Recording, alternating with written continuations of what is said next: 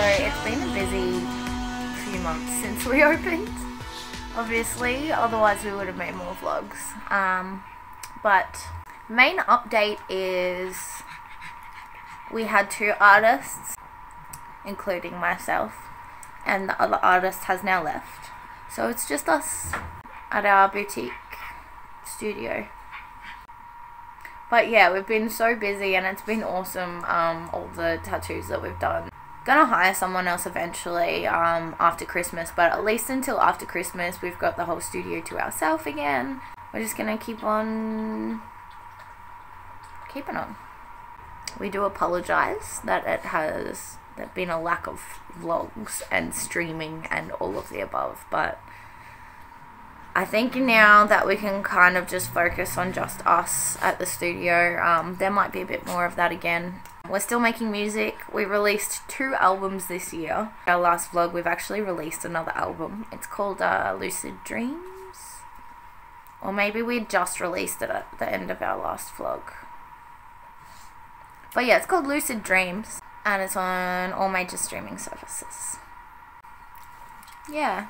But yeah, it's nearly Christmas. I hope you're all doing really well. If you're not, I hope you're rolling with the punches. Um, and just remember that, like, I guess things have to fall apart for them to come back together better each time. Thank you for watching. Take care. And I love you all. For real, thanks for watching.